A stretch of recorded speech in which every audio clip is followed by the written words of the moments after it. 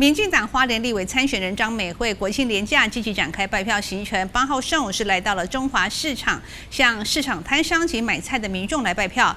不少人看到张美惠也主动上前给她加油打气，甚至还有人直接跟她陈情。张美惠也立即请助理来登记资料，表示会协助了解和处理。民进党花莲立委参选人张美惠国庆连假积极展开拜票行程，八号上午来到中华市场，向市场摊商和买菜的乡亲来拜票。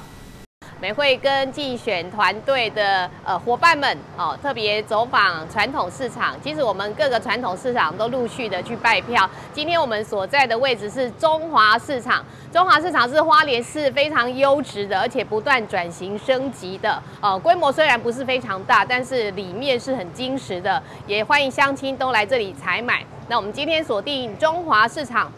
那跟团队们一起来跟呃里面的摊摊商哈，各位老板老板娘来问好，来到早，也恳请大家来支持张美惠立委，请支持张美惠，把美惠送进国会，为花莲服务，为乡亲打拼，为花莲争取更多建设，让花莲可以有一个看得到、找得到、说得到、做得到的立法委员。不少民众看到张美惠也主动上前给予加油打气，甚至还有人直接向她陈情。